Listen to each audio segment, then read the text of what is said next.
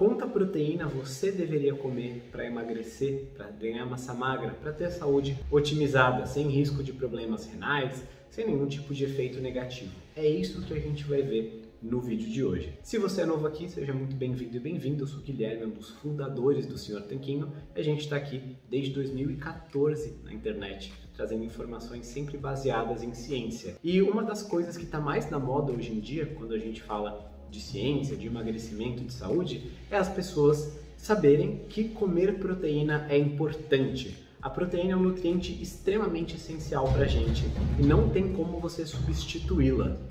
Isso é, como fonte de energia, você pode ter carboidratos, você pode ter gorduras e dá para trocar em alguma medida um pelo outro, depende das suas preferências pessoais, depende do que você está buscando. A gente ensina bastante aqui nesse canal como fazer uma dieta mais pobre em carboidratos, especialmente os refinados, e mais rica em gorduras boas que vão otimizar a sua saúde. Agora, a proteína não tem jeito, não tem nada que substitua a proteína.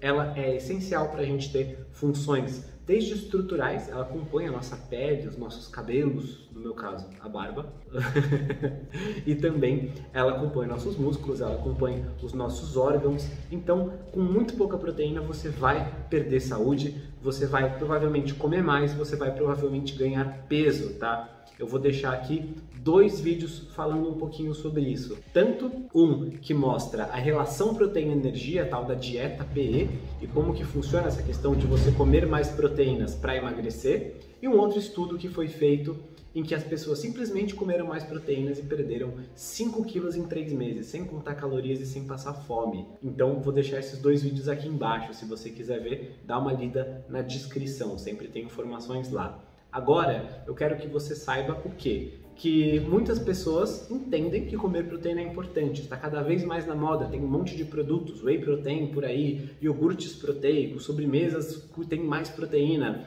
porque parece que o pessoal ficou na noia, na paranoia de comer mais proteínas. Só que mais proteína é sempre melhor? Quanta proteína você devia comer? Então, é isso que a gente vai falar agora. Especialmente eu quis gravar esse vídeo depois de umas dúvidas de alunos dos nossos programas, ainda mais os alunos do projeto Tanquinho de Hipertrofia, que é o nosso programa sobre alimentação e treino para você ganhar massa magra, e também pelas dúvidas dos alunos do Cardápio Tanquinho, que é o nosso programa que ensina as bases de como se alimentar para o resto da vida, para você emagrecer, manter os resultados, sem comer comida sem graça, sem contar calorias, sem passar fome. Tudo isso está disponível lá no Cardápio Tanquinho. Então tem dois programas, Projeto Tanquinho com treino e alimentação voltada para massa magra cardápio tanquinho mais para emagrecimento. Se tiver alguma dúvida, manda aqui que a gente tem esses programas, mas não é o momento de falar deles, é o momento de falar da proteína. E o que eu mais vejo por aí não é que as pessoas estão com medo de comer carne, nem qualquer coisa assim. A maioria das pessoas que pergunta sobre proteína está querendo saber sobre os suplementos. Na verdade, elas estão querendo suplementar proteína, né? tomar whey protein, caseína, albumina, beef protein, o que for, como adição à sua dieta normal. Então é nesse contexto que a gente vai trazer o estudo de hoje. E qual que é o estudo? A gente vai ver o que, que alguns bodybuilders, algumas pessoas profissionais fazem em termos de ingestão proteica. Então o primeiro estudo é esse daqui que está na tela, que é justamente sobre os efeitos de consumir uma dieta alta em proteínas, 4.4 gramas de proteína por quilo por dia na composição corporal em indivíduos que treinam força. E justamente o que, que essa análise fez? Ela quis comparar se as pessoas consumiriam quantidades massivas de proteína, que queria acontecer. Então, imagine um homem de 70 quilos, é mais ou menos o meu peso, e eu consumiria 300 gramas de proteína por dia nesse protocolo muita gente não tem noção de quanto é 300 gramas de proteína. Na verdade, as pessoas pensam que 300 gramas de proteína é, por exemplo, 300 gramas de carne. Mas cada 100 gramas de carne tem uns 20 a 25 gramas de proteína. Então, isso seria o equivalente a comer mais ou menos um quilo e meio de carne todos os dias, se essa proteína viesse só da carne. Ou então, em termos de ovos, tá? Um ovo grande, um ovo de tamanho bom, tem uns 6 gramas de proteína. Isso daria o equivalente a comer 50 ovos por dia. Obviamente, nada disso é muito palatável. Não é muito razoável alguém comer 50 ovos por dia ou um quilo e meio de carne todos os dias. Não é normal. Algumas pessoas têm esse apetite, mas não é a maioria do pessoal que assiste a gente aqui. Então é importante entender por que, que esses consumos tão altos geralmente são atingidos só com o uso de suplemento. E também é importante entender que muitas vezes quando a gente vê um estudo assim, com bodybuilders, com pessoas que treinam, consomem essa quantidade massiva de proteína, eles às vezes também estão fazendo um regime de treinos que não é o razoável de uma pessoa normal. Às vezes eles treinam duas vezes por dia, né? 7, 10, 14 vezes por semana, enquanto uma pessoa normal talvez treine 12 vezes por mês, 3 vezes por semana mais ou menos. Dá para ter ótimos resultados assim. É o que a gente ensina no Projeto Tanquinho também, é um programa para pessoas do mundo real, como eu e você, que não somos profissionais, não somos atletas. A gente só quer ficar em forma e, claro, ter músculos, ter saúde, ter uma boa forma física, mas sem ter que comprometer a nossa vida inteira para isso. A gente quer poder tomar nossa taça de vinho no final de semana e relaxar com a nossa alimentação, sem ter que pesar comida nem nada assim. Feitos esses adendos, esse estudo mostrou essa grande consumo de proteínas. O que, que aconteceu? Qual que é a conclusão desse estudo? Vamos direto para ela, porque eu quero mostrar mais dois aqui que vai te ajudar a entender um pouco melhor esse contexto. Então, olha aqui que os resultados verificaram aqui. O grupo de alta proteína comeu muito mais proteína e mais calorias, e a gente pode ver que eles consumiram em média 307 gramas de proteína, mais ou menos 69, né? É o desvio padrão, comparado com 138 do grupo controle, ou seja, mais que o dobro. Quando expressado por unidade de peso, que é para regularizar, né, para uma pessoa de 50 quilos e uma de 100 quilos, a gente conseguir metrificar, por exemplo. Esse grupo consumiu 4,4 gramas de proteína por dia e o outro grupo consumiu 1,8. E não houveram mudanças no volume de treino de nenhum dos grupos. E não tiveram mudanças significativas ao longo do tempo entre os grupos, em questão de peso corporal, massa gorda, massa magra ou percentual de gordura. Qual é a conclusão do estudo, então? Consumir 5,5 vezes a ingestão recomendada diária de proteína não teve efeito na composição corporal com esses indivíduos que, de outra forma, mantiveram o mesmo regime de treino. Esse é o primeiro estudo intervencional que demonstra que consumir uma dieta hipercalórica alta em proteína não resulta em aumento de gordura. Então, o que, que isso significa? Você pode caprichar na proteína, pode consumir proteína pra caramba, uma dieta hipercalórica e rica em proteínas e você não vai engordar. É isso que a gente tem mostrado. Então, aquelas pessoas que vêm com um papinho de ah, calorias que importam, o que importa é o balanço calórico, elas não estão totalmente erradas. Calorias ainda importam. Se você consumir mil calorias de uma dieta, mesmo que seja alta em proteínas e alta em gorduras, por exemplo, e 10 mil calorias dessa mesma dieta, os resultados vão ser diferentes. Agora, as calorias não são todas iguais. A gente está vendo aqui que você pode ter um superávit calórico que vier das proteínas e o seu corpo não vai converter essas proteínas da mesma forma em gordura. Então, essa é a nossa sacada número um do vídeo de hoje. A gente pode consumir proteínas e proteínas não vão nos engordar. Guarda essa sacada com você, porque isso é muito importante. E muita gente entende essa sacada, entende que funciona assim e fica se perguntando: tá bom, então se eu posso consumir proteína pra caramba e isso não vai, na verdade, atrapalhar meus resultados, não vai me fazer engordar. E a gente viu em outro vídeo que comendo mais proteínas eu tenho chances de ficar mais saciado, de controlar meu apetite, de emagrecer naturalmente. Mencionei esse vídeo, está na descrição, vou deixar no cartão aqui também. Então, quanto mais proteína, melhor. É verdade? Depende. Vamos ver esse outro estudo aqui. Então, esse estudo faz uma investigação interessante. Uma dieta alta em proteína, dessa vez 3,4 gramas de proteína por quilo de peso por dia combinada com um treino de resistência pesado, melhora a composição corporal em homens e mulheres saudáveis e que treinam. Então, o que, que ele vai fazer? A gente viu no estudo anterior que não teve uma mudança significativa só ao comer mais proteínas. Mas e se a gente variar o método de treino das pessoas? A gente der um outro estímulo complementar a esse junto com uma dieta alta em proteína? O que, que será que acontece? Então vamos ver os resultados que foram atingidos.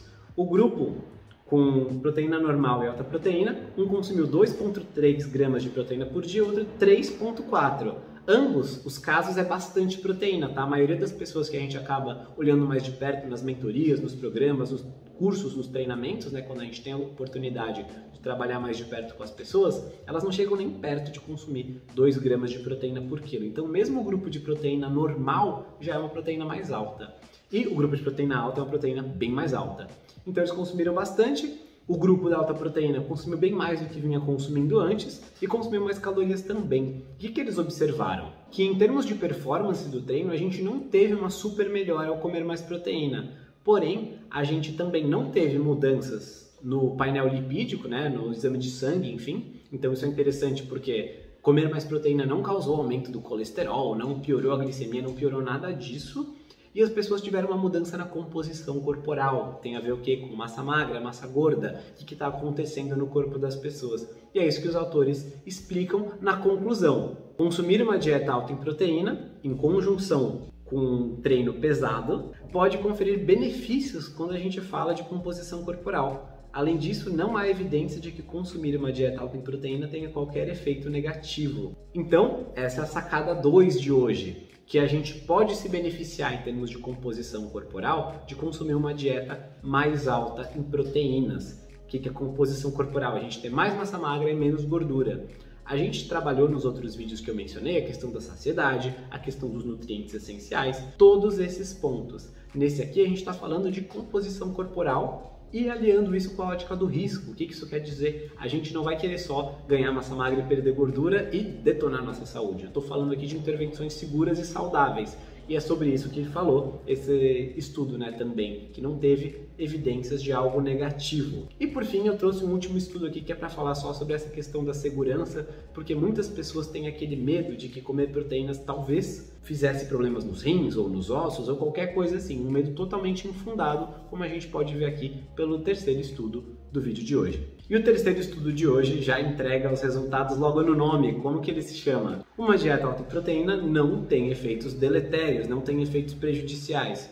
Um estudo de um ano, desenho crossover, em homens que treinam na academia, treinam treino de força. Então, justamente eles pegaram homens jovens com quase 1,80m de altura, que já treinavam há mais ou menos 9 anos e fizeram um desenho crossover. O que, que isso quer dizer? Quer dizer que eles sorteiam dois grupos, um grupo faz uma intervenção e outro grupo faz outra. Depois de um tempo, troca quem estava fazendo o protocolo A vai fazer o B, quem faz o protocolo B volta para o A. Né? Na verdade, não volta, ele faz o A pela primeira vez. Então, é um tipo de desenho de estudo que é justamente para ajudar a dirimir alguns dos efeitos do tempo das coisas que é justamente para comparar as duas intervenções com dois grupos de pessoas e no fim das contas os dois grupos passam pela mesma intervenção. Se isso for confuso, tá tudo bem, não precisa se atentar aos detalhes, se atenta à conclusão, que é o que é útil para você aqui. A gente fala muito de ciência, a gente estuda muito, a gente usa os estudos científicos para informar decisões para as pessoas normais do dia a dia, como eu, você, todo mundo poder ter mais saúde. Eu não acredito que você deveria passar o dia lendo estudos científicos, que você precisa disso para ser saudável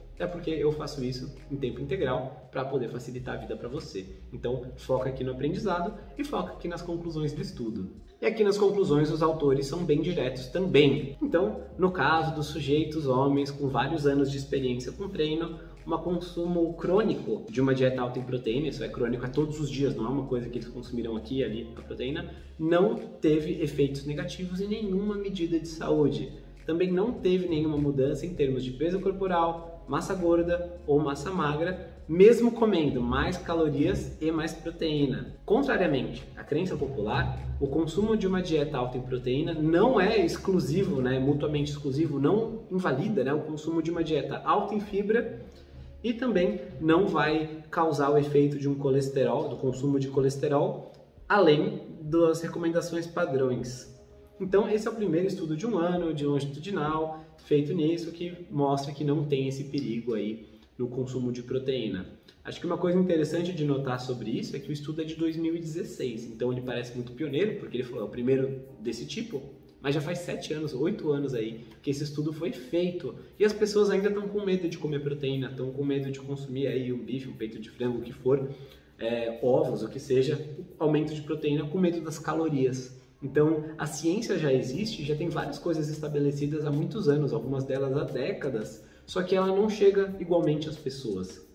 E acho que essa é a nossa terceira e quarta sacadas juntas. A terceira é que não tem perigo em consumir proteína, o pessoal estava consumindo aí mais de 3 gramas por dia de proteína. E o quarto é que a ciência já existe, o conhecimento já está aqui, mas ele não está igualmente distribuído entre todos nós. O que, que isso quer dizer? Quer dizer que quem sabe procurar e tem acesso às informações corretas, larga na frente. Essa pessoa vai ter mais resultados na academia, ela vai ter uma dieta melhor, ela vai saber treinar de uma forma mais eficiente, vai ficar com o corpo sarado, com uma saúde de ferro, enquanto os outros estão aí caindo em mitos, em bobagem, caindo em coisa de blogueira do Instagram, em papinho de vendedor de suplemento e tudo mais. Eu não quero que isso aconteça com você, eu quero te ajudar a ter essa saúde, essa saúde de ferro, esse corpo bonito, esculpido, naturalmente atraente, sem que você tenha que se matar estudando o dia inteiro ou treinando todos os dias duas horas por dia. Dá para ser feito de uma forma mais fácil, tá bom? E é justamente por esse motivo que eu quero te convidar para entrar no cardápio Tanquinho, se você acabou de cair de paraquedas aqui no nosso canal e não sabe as bases dessa alimentação, então se você tem muito peso a perder, se você quer queimar as últimas gordurinhas, se você não está afim de treinar agora, mas quer mudar sua alimentação para ter mais saúde, para melhorar a gordura no fígado, triglicerídeos, abaixar a glicemia sanguínea, controlar o pré-diabetes, se livrar do excesso de peso, o cardápio tanquinho é para você. Agora, se você já tem uma base boa e quer ganhar massa magra, definir o seu corpo e conquistar o seu tanquinho, entra no projeto Tanquinho. Tem link para os dois aqui embaixo, são programas um pouco diferentes. Se tiver uma dúvida, fala com a gente, eu te ajudo a entender qual que é o melhor para o seu caso específico. Tem o link para o nosso WhatsApp diretamente aí embaixo também. E saiba que o conhecimento muda tudo. A diferença entre você ter acesso ao conhecimento moderno e usar isso na prática é a diferença entre anos e anos indo na academia e as pessoas perguntando com aquela cara de surpresa: Ah, você treina? Porque não aparece, porque não é óbvio, porque não é óbvio porque o seu corpo não está gritando que você de fato faz academia, tem um corpo bonito, atraente, e você ir lá, ficar ali algumas três vezes por semana, treinar uma horinha por vez e ficar com um corpo bonito. As pessoas perguntarem o que, que você faz, que suplemento você toma, você está tomando bomba? É, as primeiras vezes que me perguntaram algo assim, eu fiquei ofendido porque sentia que não estavam reconhecendo o meu esforço. Hoje em dia eu fico muito feliz. É, na verdade é uma espécie de elogio as pessoas falarem: nossa, eu também treino na academia e eu não tenho esses resultados. Logo, só pode ser possível se a pessoa estiver tomando esteroides, tomando bomba. E bom, eu não usei nada disso, eu só uso a ciência a meu favor e quero te ajudar a usar a seu favor também. Então, clica nos links da descrição e se inscreve no nosso programa se você quiser um método passo a passo. E por enquanto aqui, vamos concluir o que a gente consegue perceber pelo vídeo de hoje. A gente conseguiu perceber os seguintes pontos. Consumir uma dieta alta em proteína pode ser bom para você, pode ter benefícios. Consumir uma dieta alta em proteína não vai te engordar, não vai causar problemas de saúde também. Não é quanto mais proteína melhor. A gente consome a proteína no nosso método de acordo com a matriz alimentar em que ela está inserida. Então a gente não fica tomando um monte de suplementos o tempo todo, tá bom? A gente fica focando em consumir proteína na forma de comida de verdade, que tem mais nutrientes, que vai ter uma matriz alimentar que é testada ao longo do tempo, isso é, a gente evoluiu comendo certos alimentos que vão ser mais facilmente esperados e nosso corpo vai reagir melhor a eles. Enfim, é um pouquinho complexo para caber nesse vídeo, mas a gente tem um contexto alimentar que importa bastante. E nesse contexto alimentar, você optar por alimentos mais altos em proteína vai ser bastante positivo para a sua saúde e composição corporal. É por isso que um dos nossos 10 pilares do cardápio Tanquinho é uma alimentação alta em proteína. A gente tem os outros nove lá no programa passo a passo. E se você tem alguma dúvida, se quer saber mais sobre quantos gramas comer e tal, lá no programa tem explicadinho mais passo a passo, como fazer essa conta, como fazer uma boa ingestão sem ter que fazer conta, tem tudo isso. Eu precisaria de algumas horas do seu tempo para te explicar e eu faço isso junto com o Rony lá no nosso programa. Acredito que a principal lição desse vídeo é não tenha medo de comer proteína, ainda mais se for na forma de comida de verdade. E se você quiser uma ajuda mais de perto, você consegue sim, a gente pode te ajudar, tá bem? E aqui ao lado eu vou deixar o vídeo que fala sobre a relação proteína-energia, né, a dieta PE. É um conceito interessante que veio da ecologia nutricional e é muito útil, ajuda nossos alunos e alunas a emagrecer. Se você entrar um dos nossos programas esta semana, você ganha como bônus a Masterclass Whey Perfeito, como escolher o seu suplemento de proteína. O que, que você vai olhar para você não ser enganado, não levar gato por leve, se você quiser consumir proteína na forma de suplementos. Não faz parte da nossa estratégia, não é regra consumir, mas algumas pessoas se beneficiam, a gente fala sobre isso nessa aula bônus também. Um forte abraço para você e até o próximo vídeo do Senhor Tanquinho.